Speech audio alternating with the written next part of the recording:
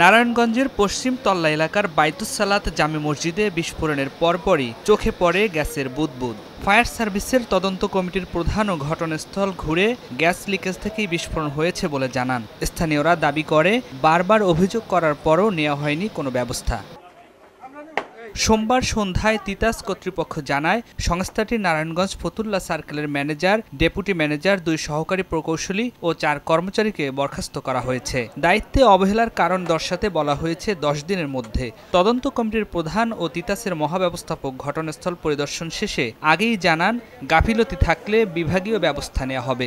এই মসজিদ কমিটি এই লিকেজটাকে রিপেয়ার করার জন্য কাকে বলছে? যদি কাউকে সে ফোনেও বলে থাকে সেটা আমাকে দরকার। লিঙ্কটা দেন তখনই আমরা সেটা ম্যানেজমেন্টের কাছে চরম প্রশাসনিক ব্যবস্থা নেওয়ার জন্য কমিটি এদিকে নারায়ণগঞ্জে দুর্ঘটনার তিন দিন পর সোমবার সকাল থেকে লিকেজ শনাক্ত করতে খোরাখুরির কাজ শুরু করে তিতাস।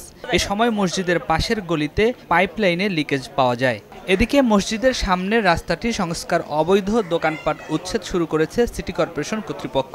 অনেকবার অভিযোগ জানানো হয়েছে সিটি সিটি কর্পোরেশনের কমিশনারের কাছে। কোনো সুরা হয় নাই। মানুষ কাজকর্ম করতে পারে না মসজিদে যাইতে পারে না স্কুল কলেজে যাইতে পারে না। জেলা প্রশাসকের কার্যালয়ে জেলা ম্যাজিস্ট্রেটের কাছে মসজিদে দুর্ঘটনার বিষয়ে গণশুনানিতে অংশ নিয়েছেন আঠারো জন। সময় সংবাদ নারায়ণগঞ্জ।